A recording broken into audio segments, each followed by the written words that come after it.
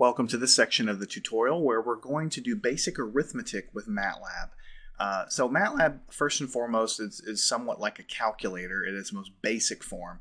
And so in the command window, we've been doing this uh, already, but you can basically just enter things to add, subtract, multiply, and divide, much like a calculator. So it's it goes almost without saying that you can just take 3 you know, plus 3, you know, and you'll get 6, you know, 5 plus 8, and you'll get 13, and so on. Uh, so to enter addition, you do it just like that. Of course, there's no limit to how many things you can add together. I can just keep adding things, you know, in one row. MATLAB has no problem doing that and giving us a final answer. So if you have a long string of calculations, no problem. Of course, you can mix addition and subtraction just like you can on most calculators, except it, it allows you to see everything in, in the same line. So 56 plus 8 is 87 minus 109 minus 1025. And of course, we're going to get a negative number here. So of course, MATLAB knows all about positive and negative numbers. It'll, it'll go and compute the, the proper sign of the answer there.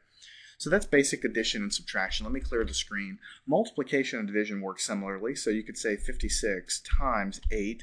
The time symbol in MATLAB is not an X. It's not like that. It's a asterisk. That's the uh, shift of number 8 key. So 56 times 8, you know, 10 times 8, things like that. And of course, just like with addition and subtraction, you can string these things along. So 5 times 8, you could just keep multiplying like this.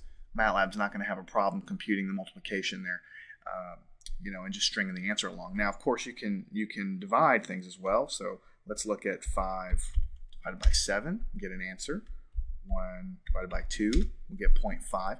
Now, let me clear the screen and show you something with this. It's actually pretty important. So 1 half 3 divided by 4. Uh, let's do 2 thirds. 2 divided by 3.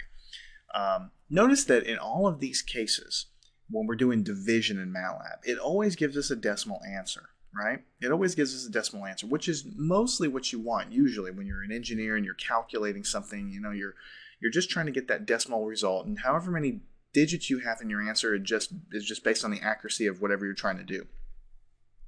But for the most part, MATLAB does not treat 1 slash 2 like this as a um, fraction. It, it, it's calculating the numeric result. So if I do something like, let me clear the screen, 1 half um, plus 1 fourth, we all know by fraction arithmetic that I can take 1 half and I can add it to 1 fourth and I can get a fraction as an answer. But MATLAB's not going to do that. It's going to, it's going to just do 0.75.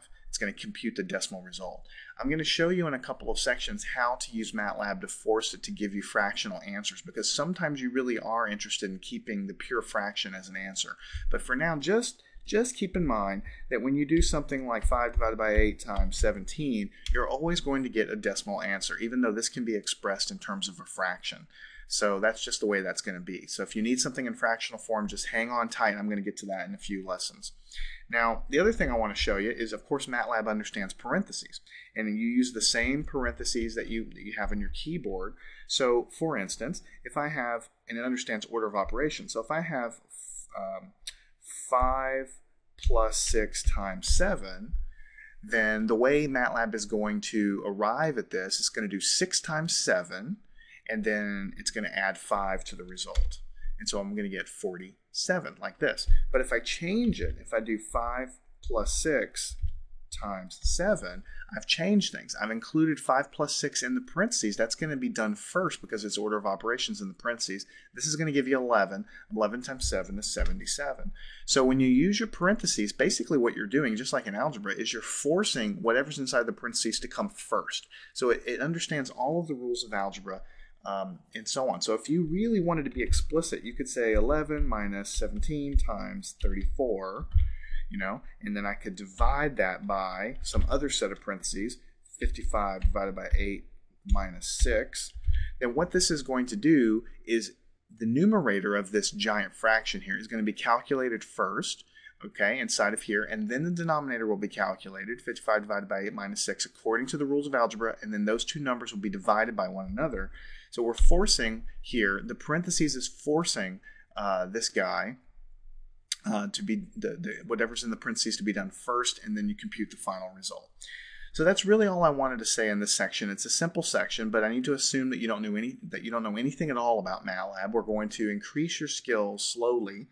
Uh, so in this section, we've learned basically how to add, subtract, multiply, and divide, and we've also cautioned you that whenever you encounter, you know, something like this that's obviously uh, can be expressed as a fractional answer matlab doesn't do that it, it, defaults to the to the method of just basically giving you a decimal answer and that's I think why it's used so much for engineers. It's mostly its strong suit is in the numerics. So whenever you calculate complicated things, usually you're going to get a decimal answer, and however many decimal points you choose to keep in your final answer is just up to how ac- however accurate you think your your calculation should be.